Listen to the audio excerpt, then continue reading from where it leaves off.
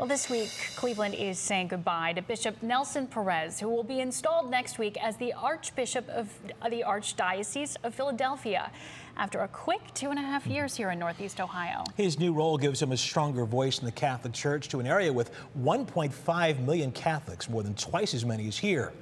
He leaves town on Friday. We had a chance today to get his reaction to the appointment and his thoughts about Cleveland. How you feeling? Well, it's it's a whirlwind right now. Yeah. You know, it's uh, it's bittersweet. You know, it's uh, I'm very sad leaving Cleveland. Cleveland has been uh, incredible for me. Yeah, I want to ask you about that. First of all, congratulations. Thank you, thank you so much. I understand when you first got the call, you were in Florida. Visiting my mom for mom? Uh, Martin Luther King weekend. And the first thing out of your mouth is, "Are you kidding me?" Are you kidding me? Yeah, I could I could not believe it. What were It you was- thinking? I wasn't thinking anything. I was just home to spend the weekend with my mom and my family down there, and I got a call at quarter to nine on Saturday morning. Yeah. Uh, and uh, and there it went. You know, uh, the nuncio said those famous words, "Are you alone?" And then I said, um, "You're not changing me, are you?"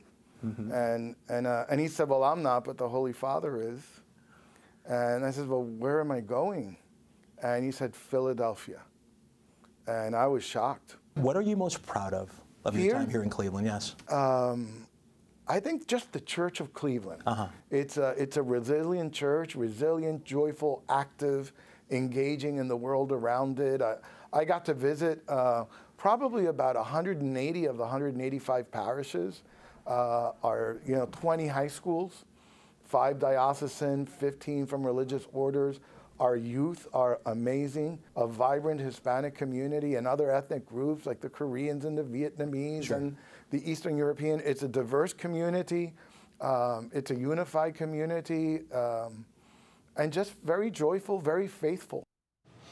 By the way, Bishop Perez spent 30 years in Philadelphia. He spent he went to the seminary there, and he later served as a priest.